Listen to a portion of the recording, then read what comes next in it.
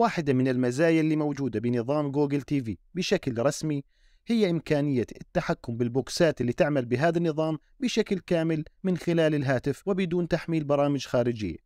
خلينا نشوف مع بعض طريقة تفعيل هذه الميزة.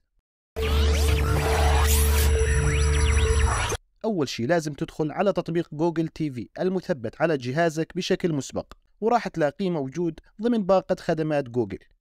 ولازم يكون الحساب الموجود على الهاتف نفس الحساب الموجود على ال box لتعمل الميزة وأيضا الجهازين متصلان بنفس شبكة الواي فاي بعد الدخول للتطبيق راح يعطينا ملاحظة بالأسفل بأن هناك تلفزيون قريب منك.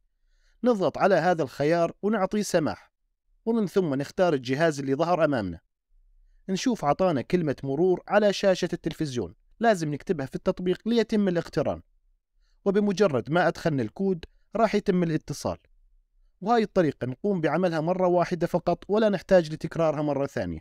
هون نلاحظ طلعت خيارات جديدة بالأسفل واللي يهمنا هو صورة جهاز التحكم. نضغط عليها مثل ما شايفين صار لدينا جهاز تحكم إضافي بكل مزايا الجهاز الأساسي. نستطيع التمرير بكل الاتجاهات وأيضا ميزة البحث الصوتي تعمل بشكل ممتاز. وبإمكاننا التحكم بالصوت بشكل كامل.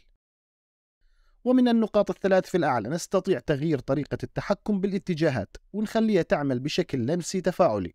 ميزة ممتازة موجودة بهذا النظام. بالإضافة إلى ميزات كثيرة راح نتعرف عليها بالفيديوهات القادمة إن شاء الله. أشكركم أصدقائي للمتابعة. لا تنسوا الاشتراك بالقناة والإعجاب بالفيديو. في أمان الله.